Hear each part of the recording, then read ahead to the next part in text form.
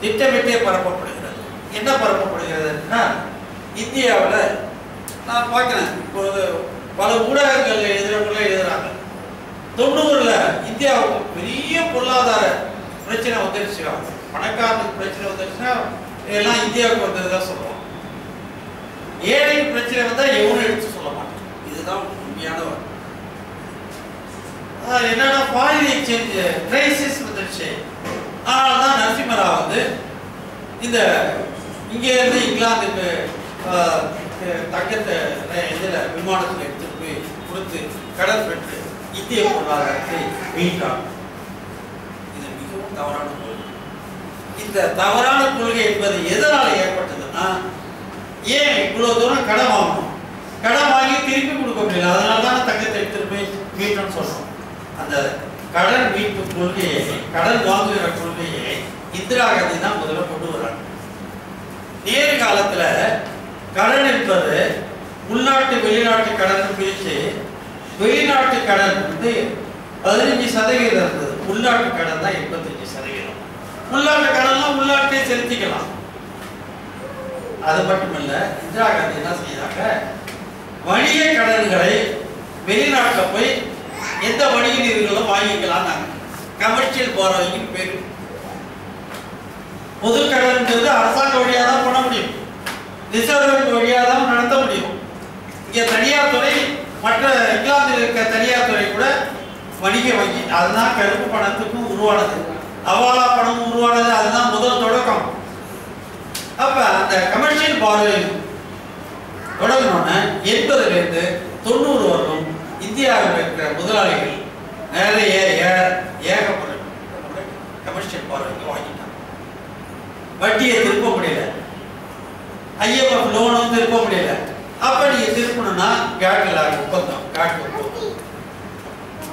கட்டாயப்படுத்தி கேட் ஒப்பந்தம். அதுக்கு பேர் வாஷிங்டன் கன்சென்சஸ்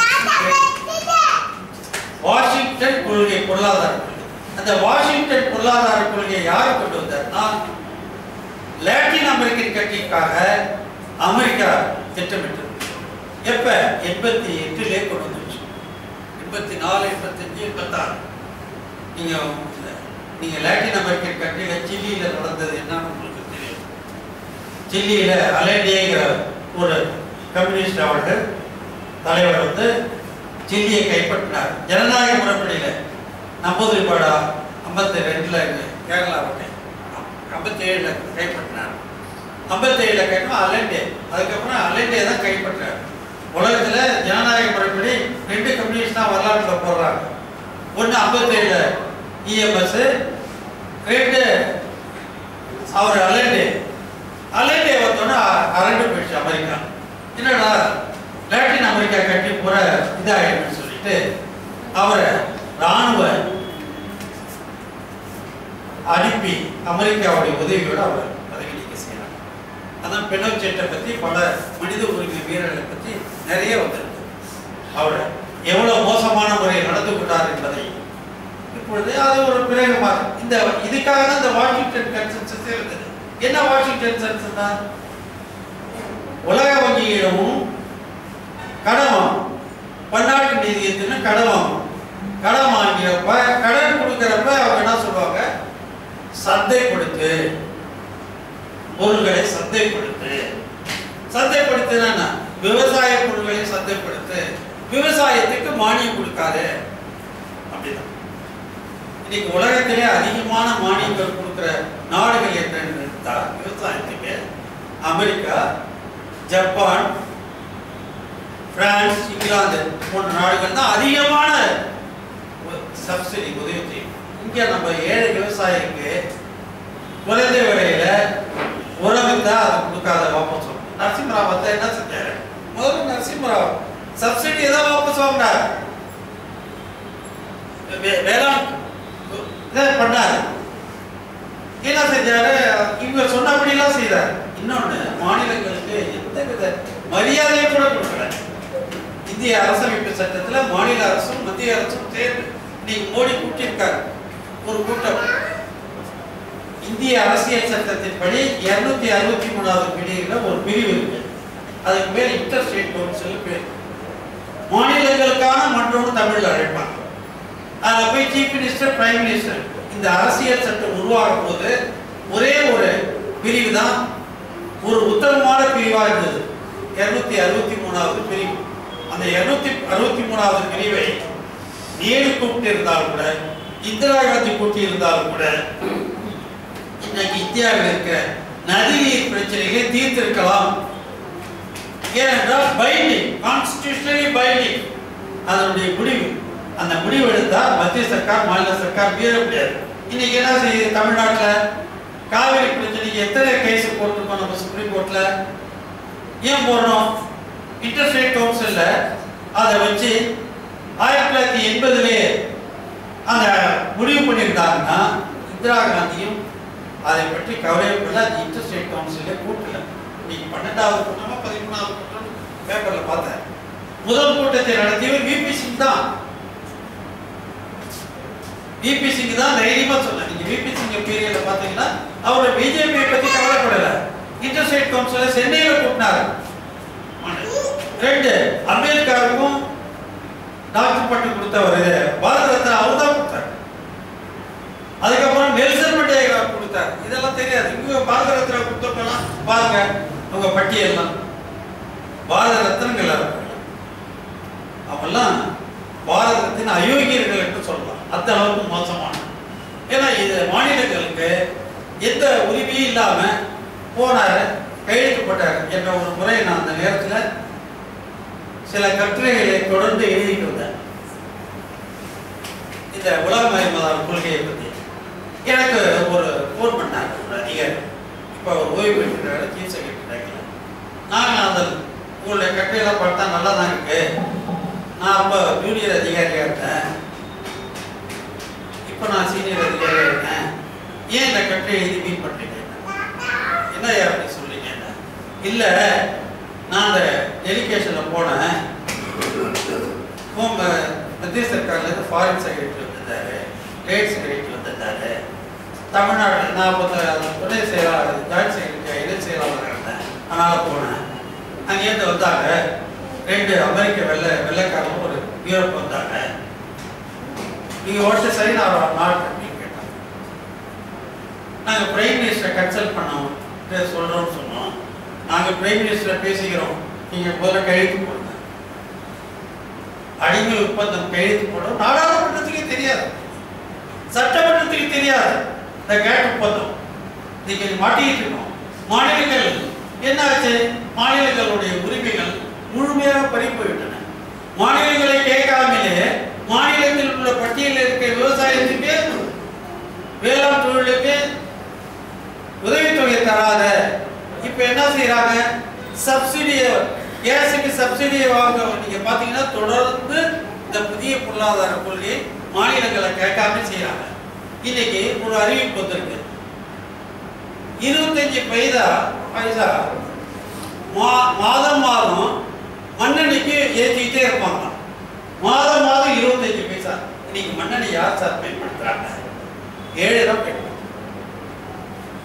இதை யாராவது கேட்கிறார்களா? மாநில அரசு கேட்டுக்கொண்டா நீங்க முடிவு பண்ணீங்க.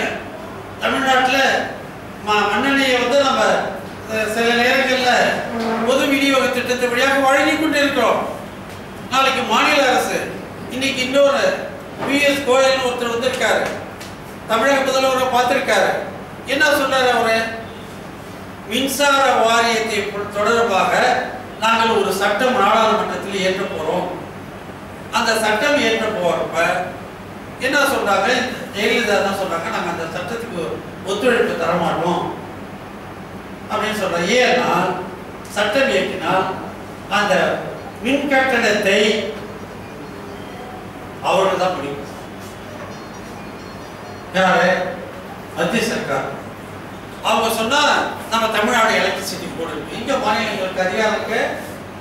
ஆனால் அதானியும் அம்பானியும் சமீபத்தில் ஒரு கட்டுரை வந்தது எக்கனாமிக் அண்ட் பொலிட்டிக்கல் வீட்டில் என்ன வந்திருக்குன்னா அதானி அம்பானியும் சேர்ந்து எழுபத்தொம்போதாயிரம் கோடி ஏமாத்திருக்காங்க. நிலக்கரி ஊழல். இதை நான் சொல்லல. இப்போ நம்ம சொன்ன மார்க்ஸ் சொன்னார் பிளண்ட் அந்த கொள்ளை. ஃபினான்ஸ் டிபார்ட்மெண்ட்னா உள்நாட்டு கொள்கை. டிஃபென்ஸ்னா வெளிநாட்டு கொள்ள. இப்பயும் அப்படிதான் நடக்குது. இன்னைக்கு அதிகமான ஊழல் எங்க நடக்குது? டிஃபென்ஸ்ல தான் நடக்குது. கிருஷ்ணமேனன் காலத்துல ஜீப் வாங்கினதுலேருந்து வாஜ்பாய் காலத்துல சவப்பெட்டியிலேருந்து இந்திய வருடம் இப்ப தாத்ரா ஹெலிகாப்டர் வாங்கினதுலேருந்து எல்லாமே எங்க நடக்குது? லட்சக்கணக்கான கோடிக்கணக்கான லட்ச கோடி ஆயிரம் கோடி இல்லை அப்படிதான் ஆகவே இது வந்து இது தொடர்ந்து இருந்துகிட்டே இருக்கு. இதுக்கு தான் லிபரலைசேஷன் நீங்க அந்த காலத்துல கிழக்கிந்திய கம்பெனி இந்தியாவுக்கு வந்து அவனே பரவாயில்லைங்கிற மாதிரி இப்ப கொள்ளையர்கள் வெள்ளையர்களை விட கொள்ளையர்கள் மோசமாயிட்டாங்க. ஏன்? எதுக்கு உதாரணமாக ஒன்று சொல்லுகிறேன். இந்த நில பகிர்ப்பு சட்டம் வந்த போது இந்த நில மாநில பட்டியல் தான் நிலம் இருக்கு. எப்படி மத்திய சர்க்கார் வந்து நில சட்டத்தை கொண்டு வந்து வா- கடைசியா ஆஹ், நம்ம நரேந்திர மோடி அதை திரும்ப பெற்றார் ஏன் திரும்ப பெற்றார்? நிலம் வந்து மாநிலங்களுடைய உரிமை. எல்லா எல்லாரும் எதிர்க்க ஆரம்பிச்சிட்டாங்க. அதை எது எதற்காக அதை கொண்டு வந்தாருன்னா நிலத்தை பிடுங்கி முதலாளிகளுக்கு கொடுப்பதற்காக அந்த சட்டம் கொண்டு வந்தார். ஆனால் வெள்ளக்கார முதல்ல அந்த ஈஸ்ட் இந்தியா கம்பெனி வந்து பிரிட்டிஷார் தாக்கப்பட்டப்ப முதல் சட்டம் ஆயிரத்தி தொள்ளாயிரத்தி எண்பது ஆயிரத்தி எண்ணூத்தி எண்பதுல எண்பத்தி ஏழுல கொண்டு வந்த சட்டத்துல ரொம்ப தெளிவா சொல்லிட்டான். பொதுமக்கள் விருப்பம் இல்லாமல் எந்த நிலையத்தையும் கைப்பற்றக்கூடாதுன்னு சொன்னான். ஆனால் பொதுமக்கள் விருப்பம் இல்லாமலே நிலத்தை கைப்பற்றான் மோடி வெள்ளக்காரன் வெள்ளைக்காரன் பரவாயில்லையா கொள்ளக்காரன் பரவாயில்லையா நீங்க தான் முடிவு அவனால கொஞ்சம் சட்டத்துக்கு மதிச்சான். அவன் கொள்ளையடிக்குதான் அவனும் கொள்ளைக்காரன் தான். அவன் அதான் பகத்சிங் சொன்னார் அம்மா இந்த நாடு விடுதலை அடையும். ஆனால் வெள்ளைக்காரர்களுக்கு பதிலாக பருப்பு நில துறைக்காரர்கள் வந்து உட்காந்துருவாங்க பண்ணிட்டேன் அவர். குல்தீப் நாயர் எழுதிய புத்தகத்தில் அது இருக்கு ஸ்டேட்மெண்ட் பகத்சிங் மாற்றியே இருக்கிற புக்கில். இது. இப்போ மின்சாரத்தை எங்கிட்ட கொடுங்க. நாங்கள் பண்ணிக்கிறோம். இவங்க கேட்குறாங்க ஒரு தடை அமைச்சு கொடுங்க. அதுக்கு அவர் சொன்னார் கோயல் சொன்னாரு எங்கள்கிட்ட மின்சார கட்டணத்தை நிர்ணயிக்கிற உரிமை எங்களுக்கு கொடுங்க. சப்சிடியை திரும்ப பெறுங்க. இப்ப ஏழை நூத்தம்பது கிலோ வாட்டு மின்சாரத்தை ஏழைகளுக்கு கிடையாது? தான் இந்த ஆட்சியாளர்கள் தேர்தலில் நின்று வெற்றி பெற்றிருக்காங்க. இப்ப நூத்தி ஐம்பதுக்கு எந்த இது கிடையாது. இப்ப அவங்க வந்து கோயில் கேட்குறாரு. கோயில் சொல்லிட்டு இருந்தார் எலெக்ஷன் முன்னாடி. நான் மூணு மலை ஜெயலலிதாவை பார்க்க வந்தேன். அவன் என்ன பார்க்கல. ஆனால் இன்னைக்கு பார்த்துட்டார் பார்த்துட்டு என்ன கேட்குறான்னு நான் பார்த்தேன். இதுதான் கேட்குறாரு. இதுக்கு முன்னாடி இன்னொரு சட்டம் வந்தது பஞ்சாயத்து சட்டம். இந்த குளோபலைசேஷன் கீழில் நடந்த அநியாயங்கள் மாநில அதிகாரங்கள் பெரிய போய் போயிட்டே இருக்குங்கிறது உதாரணம் இந்த உள்ளாட்சித்துறை உள்ளாட்சித்துறையை என்ன செஞ்சாங்க? இந்திய அரசமைப்பு சட்டம் வரப்ப டாக்டர் அம்பேத்கர் இந்த உள்ளாட்சித்துறை பஞ்சாயத்து ராஜ் சட்டமே வேணாண்டார் ஏன் வேணாம்னா இந்த நாட்டில் அடுக்குமுறை ஜாதி அமைப்பு இருந்து கொண்டே இருக்கிறது. அந்த அடுக்குமுறை கட்டமைப்பில் தாழ்த்தப்பட்டவனும் பிற்படுத்தப்பட்டவனும் கீழ்நிலையில் இருக்கிறான் உள்ளூர்ல தான் கிராமங்கள்ல தான் அந்த ஜாதிய முறை வன்கொடுமையாக பிடித்திருக்கிறது இவர்களுக்கு இந்த சட்டத்தினுடைய அடிப்படையில் ஊராட்சிக்கு அதிகாரம் கொடுத்தாலும் அரசாங்கத்துடைய அதிகாரிகள் ஏதாவது நன்மை செய்தால் கூட அதை அவர்கள் மறுத்து விடுவார்கள். ஆகவே நான் எதிர்க்கிறேன் சொன்னேன் சரி எல்லாரும் எதிர்த்த உடனே அந்த அரசமைப்பு சட்டத்தில் மாநிலங்களுக்கே விட்டுட்டாங்க. பஞ்சாயத்து ராஜ் அமைக்கிறது. பஞ்சாயத்து ராஜ் அமைப்பதை மாநிலங்களுக்கு விட்டுட்டாங்க. நீ இப்பயும் இந்திய அரசியல் சட்டத்தில் மாநிலங்கள் தான் பஞ்சாயத்து ராஜ் அமைப்பை அப்படின்னா எழுபத்தி மூணு எழுபத்தி நாலாவது அரசமைப்பு சட்ட திருத்தம் எப்படி வந்தது? சர்வாதிகாரிகள் டெல்லியில் இருக்காங்க. சர்வாதிகார கும்பலோடு இருக்கு. அது நிரந்தர கும்பல் அது. அது அதிகார வர்க்க கும்பல். எழுபத்தி மூணு எழுபத்தி நாலு அரசியல் சட்ட திருத்தமே இந்திய அரசமைப்பு சட்டத்துக்கு விரோதமானது. மாநில பட்டியலில் இருக்கிற அதிகாரத்தை அவங்க எடுத்துக்கிட்டாங்க. அதுக்கு பிறகு சில பெருந்தலைவர் காமராஜர் தெரிஞ்சுக்கணும் பலது இப்போ கேள்விப்படுறப்ப நம்ம அவர் பல உண்மையான நேர்மையான மேன்மையான கருத்துக்களை கொண்டு வந்திருக்காரு. ஐம்பத்தி ஏழுல அவர் ஒரு சட்டம் கொடுத்தார் அரசமைப்பு சட்டத்தை திருத்தாமே ஏன்னா அது அரசமைப்பு சட்டத்தில் மாநிலங்கள் தான் பஞ்சாயத்து ராஜ் அமைப்புகளை உருவாக்கணும். அவர் என்ன சொன்னாரு? கா- வெள்ளக்கார காலத்தில் ஜில்லா போர்டுன்னு இருந்தது. அந்த ஜில்லா போர்டுல உயர்ந்த ஜாதிக்காரன் தான் இருந்தான். அவன் கிராம மக்களை பத்தி கவலைப்பட மாட்டான். அதை ஒரு பதவி சுகத்துக்காக வச்சிருந்தான்னு சொல்லிட்டு அந்த சட்டத்தையே மாற்றி அவர் தான் மூணு மூணு அடக்குமுறை மூணு அடக்குமுறை கிராமப்புறம் நகர்ப்புறம் மாநகராட்சி இந்த மூணு முறை கொண்டு வந்தார். மூணு அடுக்குமுறை பேர். அது மிக சிறப்பாக செயல்பட்டது.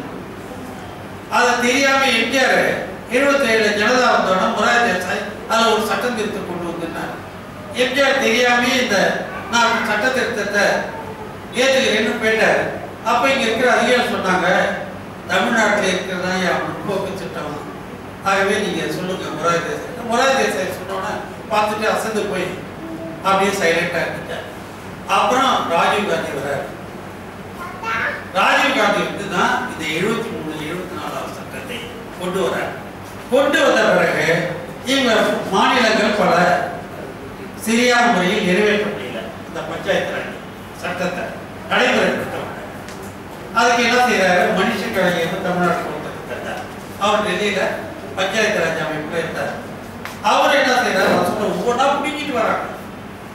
அவர் திடீர்னு பார்த்தாரு தமிழ்நாட்டில் இருந்து போன அதிகாரிகள் உங்களுக்கு அதிகாரமே இல்லையே. நீ எப்படி எங்க இதுல குறுக்கிறீங்கன்னு கேட்டாங்க. எங்க இதுல மூணு தான் இருக்க முடியும் அது சிறப்பாக இயங்கி இருக்கு மாநகராட்சி ஒன்று இருக்கு.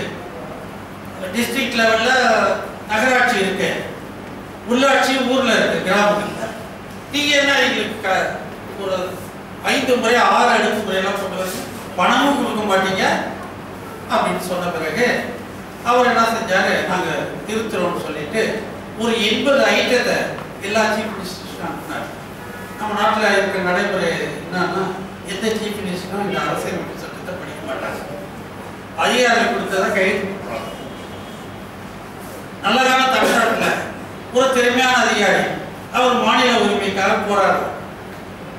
அவர் தான் எனக்கு இப்போ சமீபத்தில் இந்த கருத்தரங்குக்கு என்னை கூப்பிட்டு அந்த அதிகாரி என்ன சொன்னாரு? மனுஷங்கர் ஐயாட்ட ஐயா உங்களுக்கு அதிகாரமே இல்லை உடனே ஆ மினிஸ்டர் நீ ஒரு அதிகாரி. அப்படின்னு பேச சொன்னாரு. அவர் மிரட்டலுக்கெல்லாம் பயந்தவர். இங்கே தமிழ்நாடு முதல்வர்கிட்ட வந்து சொன்னார்.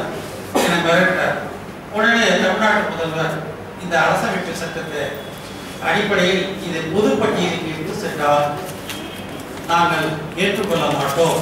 இந்த புறக்கணிக்கிறோம் நன்முகத்திற்கு சொன்ன பிறகுதான் மீண்டும் நல்ல காலம் பொதுப்பட்டியலுக்கு போகிறது நின்று கல்வி இன்னைக்கு நீங்கள் புதிய கல்விக் கொள்கையை அறிவிச்சிருக்காங்க அந்த புதிய கல்விக் கொள்கையை ஏற்றுக்கொண்டார்.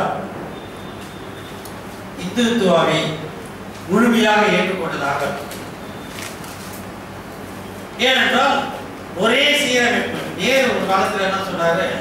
யூனிட்டி டைவர்சிட்டினார் வேறுபாடுகளுக்கு மத்தியில தான் ஒற்றுமையை நம்ம இந்தியா காண ஒற்றுமைங்கிற பேரில் எல்லாரும் ஒரே முகமாக தான் முடி வெட்டிக்கணும் அப்படின்னு சொன்னா நீங்க ஒத்துக்குவீங்களா நம்ம ஊர் ஐயரே ஒத்துக்க ஏன்னா முடி நான் அவர்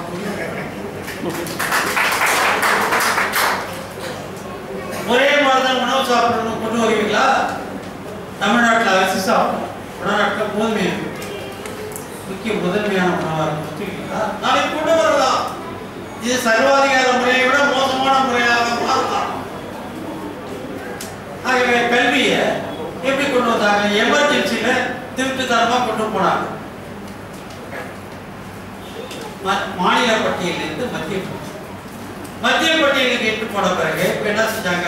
இந்த உலகமயமாதல் வந்த பிறகு இன்னைக்கு உலகத்தில் இருக்க எல்லா தனியார் நிறுவனமும் உலக நிறுவனங்கள்லாம் கல்வி நிலையங்கள்லாம் இந்தியாவுக்கு வரலான்னு இப்போ மன்மோகன் சிங் நம்ம நரேந்திர மோடி அறிவிச்சிட்டாங்க நரேந்திர மோடி இதுக்கு தான் போறாரு விளையாட்டு வா வாங்க யாரு? இங்கே பார்த்து தொடங்க இங்கே வந்து நம்ம ஊரில் சாதாரண மாணவர் மாணவர். சென்னை மருத்துவக் கல்லூரியில் என் மகன் ரெண்டு பேர் படிச்சாங்க. நானும் என் துணைமையாரும் ஆசிரியர்களாக இருந்தோம். அவருடைய மருத்துவக் கல்லூரியில் தனியார் கல்லூரியை படிக்க வைப்பதாக தான் எல்லாம் படிக்க வைத்திருக்க முடியாது. இன்றைக்கு இருக்கிற முறைப்படி. ஏனென்றால் நான் ஆறாயிரம் ரூபாய் தான் மருத்துவக் கல்லூரிக்கு ஃபீஸ் கட்டிருக்கேன் ஒரு ஆண்டுக்கு ஆறாயிரம் ரூபாய் இன்றைக்கு எல்கேஜிக்கு அறுபதாயிரம். என்னையா கல்வி? யார் கேட்டீங்க? கல்வி சட்டத்தை ஒன்று கொண்டாந்தாங்கல்ல மத்திய சர்க்காரு? அது என்னன்னா எல்லா தனியார் பள்ளிகளிலும் இருபது சதவீத ஒதுக்கீடு ஏழை மாணவர்களுக்கு கொடுக்கணும் இதை ஒன்று கேந்திர வித்யாலயம் கொடுத்துருக்காங்களா? மத்திய சர்க்கார் பள்ளிகளில் கொடுத்துருக்காங்களா? எத்தனை பேர் போராடிட்டு இருக்காங்க? ஆனால் நடத்தப்பட்டவர் கொடுத்தாங்களா? பிற்படுத்தப்பட்டவர் கொடுத்தாங்களா? ஏழைக்கு கொடுத்தாங்களா? இது சட்டம். பணக்காரர்களுக்கான ஒரு கண்காணிப்பு மாதிரி ஒரு ஏமாற்றம். இந்த சட்டம் எது ஒரு ஏமாற்றம். ஏன் இந்த நீங்க கல்வியை கொண்டு வந்தீங்க? மாநில பட்டியலில் எடுத்து வந்தீங்க தமிழ்நாட்டுல காமராஜர் வந்து பெரிய சாதனை புரிந்தார். ஐம்பத்தி ஏழுல அவர் சீஃப் மினிஸ்டர் ஆனப்ப நீதி கட்சி காலத்துல கொண்டு வந்த பள்ளிகள் எல்லாம் ராஜாஜி மூடினார். காமராஜர் ஐம்பத்தி அறுபத்தொன்னுக்குள்ள பதினஞ்சாயிரம் பள்ளிகளை ஆரம்ப பள்ளிகள் நிறுவனார் இந்தியாவில் எந்த மாநிலத்திலும் நடக்காத கல்வி புரட்சி தமிழ்நாட்டில் காமராஜர் பதினஞ்சாயிரம் பள்ளி இப்போ எவ்வளோ செய்ய முடியுமா? ஐநூறு பள்ளிகள் துவங்க முடியாது. அஞ்சு வருஷத்துல ஐநூறு பள்ளிகள் துவங்க முடியாது. அண்ணா வந்து பியூஷ்க்கு ஒரு இலவச கல்வி அளிச்சார் நானே ஆயிரத்தி தொள்ளாயிரத்தி ஐம்பத்தெட்டில் பள்ளிகளில் படிச்சு இருக்கப்ப எனக்கு ஒரு அனுபவம் இருக்கு.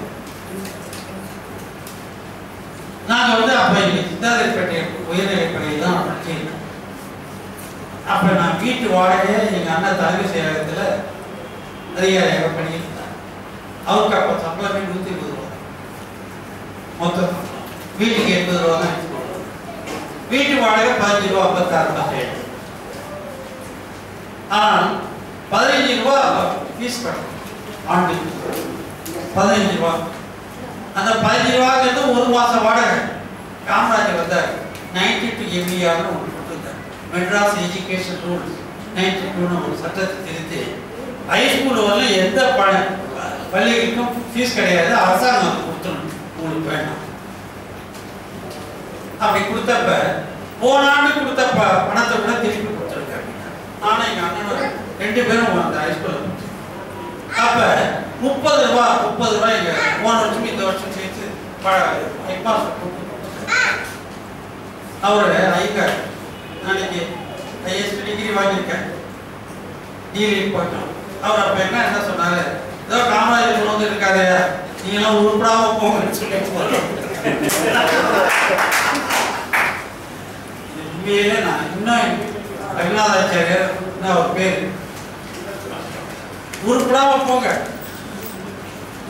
நான் அந்த பணத்தை கொண்டு போய் அம்மா கொடுத்தப்ப எங்க அம்மா என்ன சொன்னாங்கன்னா அறுபது ரூபாப்பா ஆறு மாச வாடகை நம்ம கொடுத்தவங்க இப்படி இருந்த இந்த கல்வியை மாநில கல்வி உரிமையை இன்னைக்கு பிடிக்கிறாங்க. உலகமயம் என்னாச்சு? ஏன்னால் உலகமய கொள்கையை வச்சு கொள்ளடிக்கலாம் பார்க்குறாங்க. இன்றைக்கு இன்டர்நேஷனல் ஸ்கூல் எத்தனை இருக்கு? தமிழ்நாட்டுல ஏராளமா இருக்கு இன்டர்நேஷனல் ஸ்கூல் என்ன பண்ணாட்டு எத்தனை பேர் பண்ணாட்டுன்னு போறீங்க நான் கேட்கிறேன் நான் சமீபத்தில் ஐரோப்பாவுக்கு போயிட்டு ஈழத்தமிழர் போராட்டத்துக்காக அந்த ஐநா மன்றத்தின் முன்னால் ஒரு கருத்தரங்கில் பேசிவிட்டு பிரான்ஸ் பிரான்ஸில் வந்தபோது அந்த விமானம் பயணம் தாமதமாக வந்தது. அந்த பாரிஸ் பன்னாட்டு விமான நிலையத்தில் இருந்த சூழல் காரணமாக வேற ஒரு இடத்துல எங்களை இறக்கி விட்டார். பக்கத்து எங்களுக்காக பேரஸ் நகர்ல காத்திருந்த ஈழத்தமிழர்கள். செய்தி எப்படி சொல்றது எங்களுக்கு புரியல. அங்க போனோன்னே எங்களுக்கு எல்லாம் பிரெஞ்சில் தான் பேசணும் ஐரோப்பாவில் ஆங்கிலம் வேக வேகாது. நம்ம ஆங்கில மேல மோகத்தில் இருக்கும். பிரெஞ்சில் போய் கேட்கிறோம். யார்த்தையும் அரை மணி நேரம் போராட்டம் கிடைக்கல. அப்புறம் ஒருத்தர் வந்தார். இங்கிலாந்து நாட்டு பிரெஞ்சுக்கார ரெண்டு பேரும் சேர்ந்து அவர்கிட்ட ஆங்கிலத்தில் சொன்னாங்க அவர் சொன்னாரு அதுக்காட்டி நாங்கள் வேற செல்போனில் இருக்க இன்டர்நேஷ்னல் சிம் கார்டு போட்டால் வேலை செய்யும் அப்போ சொன்னார் பிரான்ஸில் இங்கிலீஷ் சிம் கார்டு வேலை செய்யாது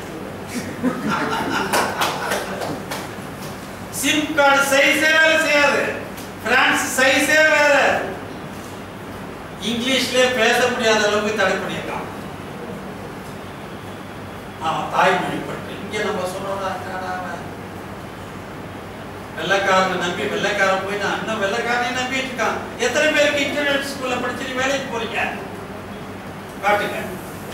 என் பிஇ படிச்சவங்க தான் சாஃப்ட்வேர்ல போனாங்க. ஆங்கிலத்துல படிச்சவங்க தான் போனாங்க. பிஇ படிச்சவங்க தான் போறாங்க இ- இங்கிலீஷ் லிட்ரேச்சர் படிச்சவங்க அப்புறம் இல்ல? எத்தனை பள்ளிகளில் நம்ம ஆங்கிலத்தை வச்சிருக்கோம்? எத்தனை பன்னாட்டு பள்ளிகளை தூக்குறோம்? பன்னாட்டு பள்ளிகள்ல தொடக்கத்திலே அஞ்சு லட்சம் ரூபாய் உண்டாகும். இது உலகமயமாதல் என்கிற பெயரில் ஏழைகளுக்கு கிடைக்கின்ற கல்வி சலுகைகளை உறிஞ்சி எடுக்கிறாங்க.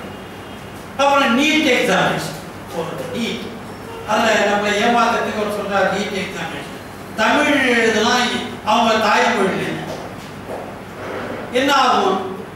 ஏற்கனவே நான் ஒரு புத்தகத்தில் ஆதாரத்தோட நிரூபிச்சிருக்கேன் மத்திய சர்க்காருடைய தேர்வாணையத்தின் புள்ளி உரங்கள் படி இந்தியில் எழுதுறவங்க தான் அதிகமாக மத்திய சர்க்கார் படிக்க சொல்றாங்க. ஆங்கிலத்தில் நம்ம எழுத முடியல. இப்ப தமிழ்ல கூட எழுதலாம்னு சொல்லிட்டு ஏன் அதை எழுதலாம்னு சொல்றாங்கன்னா இது ஏற்கனவே கர்நாடகா தமிழ்நாடு மூன்று மாநிலத்துல மெடிக்கல் காலேஜ அந்த சிஸ்டத்தை கொண்டு வந்தா நாற்பது சதவீதம் வடநாட்டு மாணவர்கள் இங்கே வந்துருவாங்க நாற்பது சதவீதம் தமிழ்நாட்டுக்கு கிடைக்கிற கிடைக்கிற இந்த தமிழ்நாட்டுல மாவட்டத்தோறும் மருத்துவக் கல்லூரிகள் தமிழ்நாட்டில் உருவாகிருக்கு மருத்துவக் கல்லூரிக்கு நம்ம பதினஞ்சாயிரம் தான் ஃபீஸ் வாங்குவோம் இப்போ. அதே நீங்கள் ராமச்சந்திராவில் போனால் ஒரு லட்சத்து ஐம்பதாயிரம் ஒரு கோடி ஐம்பது லட்சம். ஏ பிஜிக்கு ரெண்டு மூணு கோடி ஐம்பது லட்சம் எழுபத்தஞ்சு லட்சம். இப்போ ஒரு தனியார் நிறுவனத்தை கல்லூரி நடத்துகிற ஒரு வீட்டில் ரெய்ட் நடந்தது. முடிச்சது எவ்வளோனா ஏ ஏழுநூறு கோடி ஐநூறு கோடின்னு வருது. ஏன் அந்த பணம்? இதை தனியார்கள் எப்படி வேணாலும் வந்து கொள்ளையடிக்கலாம் வேளாண்மையில் கொள்ளடிக்கலாம் மருத்துவத்துறையில் கொள்ளடிக்கலாம் கல்வியில கொள்ளடிக்கலாம் மருத்துவத்துறையில் கொள்ளடிக்கலாம். இதை தான் மத்திய மாநில உறவுகளில் எல்லா துறையிலும் வந்துட்டாங்க. சரி வரி விதிக்கிறது என்ன நேர்முக வரி மறைமுக வரி ரெண்டு வரி தான் இருக்கு. நீங்க போய் சோப்பு வாங்குறீங்கன்னா மறைமுக வரி நீங்க ஒரு கல்யாணம் நிறுவனாக கல்யாணம் இப்ப கல்யாண மண்டபத்துக்கெல்லாம் பதினாலு பெர்சன்ட் சேவை வரி போறாங்க எல்லாம் மத்திய சர்க்காரை எடுத்துட்டு போடுறாங்க. சேவை வரி இந்திய அரசமைப்பு சட்டம் உருவாக்குறப்ப இல்லவே இல்லை. சேவை வரி இப்பதான் அதை எதிர கொண்டு வரலாம் அப்படின்னு யோசித்தாங்க. ஸ்டேட் லிஸ்ட்ல கொண்டு வந்தா மாநிலங்கள் எடுத்துக்கும் மத்திய சர்க்கார் தான் பங்கு கொடுத்தோம் மாநிலம் அதனால ரெசிடுவல் பவர் மிஞ்சி அதிகாரம். அதில் கொண்டு வர ஏன்னா அதை அப்படியே வச்சுக்கலாம். இப்பதான் அது ஒரு ஏமாற்றுவதற்காக ஜிஎஸ்டின்னு ஒரு கூட் சர்வீஸ் டேக்ஸ் சொல்றாங்க. அந்த டேக்ஸை கொண்டு வந்துட்டா இருக்கிற அதிகாரமும் மாநிலங்கள் மாநிலங்களை சிறுமைப்படுத்துவதற்காக மாநிலங்களே அதிகாரங்களை குறைத்து சரி நீ சரி மறைமுக வரி இந்த ஆண்டு இப்போ லேட்டஸ்டாக வந்து புள்ளி மறைமுக வரியில அறுபத்தாறு விழுக்காடு மாநில நடுவர் அரசு கிடைச்சிருக்கு நேர்முக வரி மூலம் கிடைத்த வருமானம் எவ்வளோன்னா முப்பத்தி நாலு விழுக்காடு தான்.